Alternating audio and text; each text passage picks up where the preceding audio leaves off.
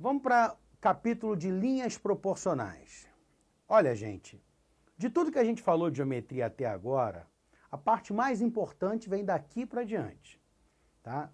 O que mais cai em vestibular, na verdade, o que mais cai em qualquer prova de geometria que você imaginar é semelhança de triângulos, e a gente vai ver isso aqui em linhas proporcionais, tá?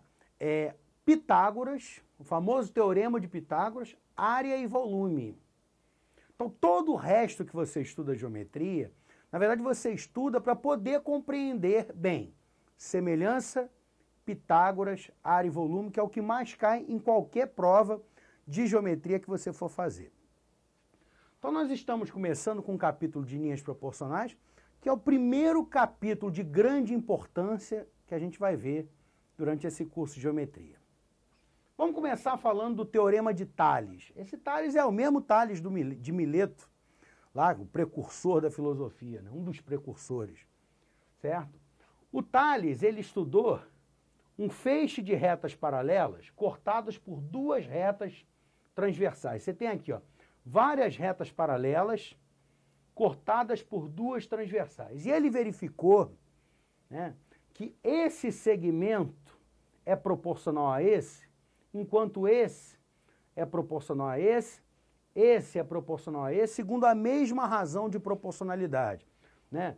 Em, em outras palavras, você pode dizer que o segmento A1, A2 está para o segmento B1, B2, ó, assim como o segmento A2, A3 está para o B2, B3, assim como A3, A4 para o B3, B4 e assim por diante, para todas essas retas paralelas que eu tracei aqui, tá bem? Tá? Por exemplo, aqui eu tenho R3, R4, R5. Imagina isso aqui como se fosse umas reticências, tá? Até a reta RN, tá bom? Então, por exemplo, olha aqui, ó, vamos ver uma aplicação do Teorema de Tales. Você está vendo aqui, ó, três retas paralelas, duas transversais, né? Esse segmento vale 8, esse vale 10, esse vale 12, esse vale x, então eu poderia escrever numa boa, né? Que x está para 10, assim como 12 está para 8. Eu tenho aqui, ó, x está para 10, assim como 12 está para 8. Você está vendo que eu peguei ó, na primeira transversal, eu imaginei que a primeira transversal é essa. Então eu tenho x na primeira transversal e a medida correspondente na segunda. x está para 10. Na primeira transversal eu tenho 12 na segunda eu tenho 8 e eu caí nessa proporção aqui. É só fazer conta. Olha aqui, ó. 10 dividido por 2 dá 5, 8 por 2 dá 4. Eu tenho que 12 dividido por 4 dá 3. Então x vai ser 5 vezes 3. x é igual a 15. Tá bom?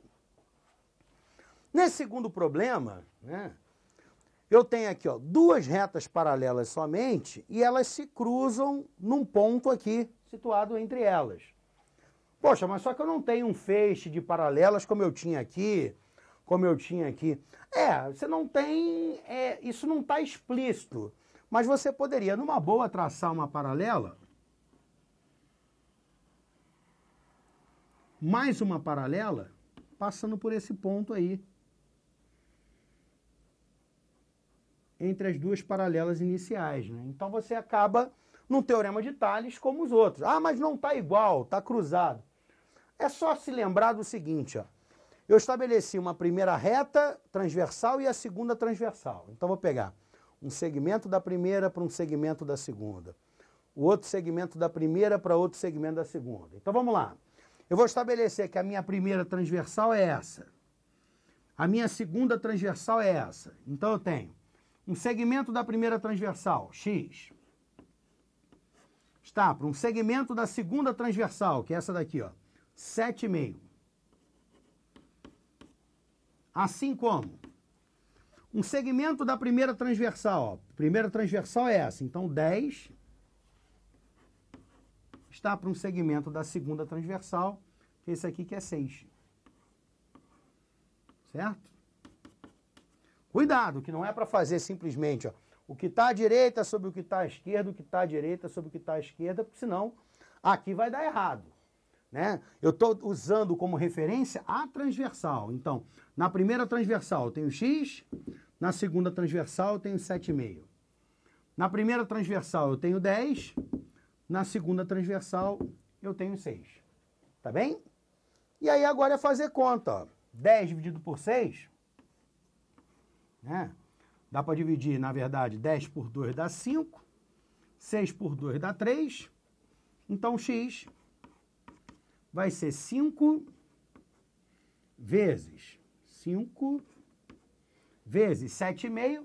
7,5 é 2,5 vezes 3, né? 2,5 vezes 3 sobre 3, né? 5 vezes 7,5, que é 2,5 vezes 3 sobre 3. Cortou. 5 vezes 2,5 dá 12,5. X é igual a 12,5, né? 5 vezes 2, 10. 5 vezes meio, 2,5, 12,5.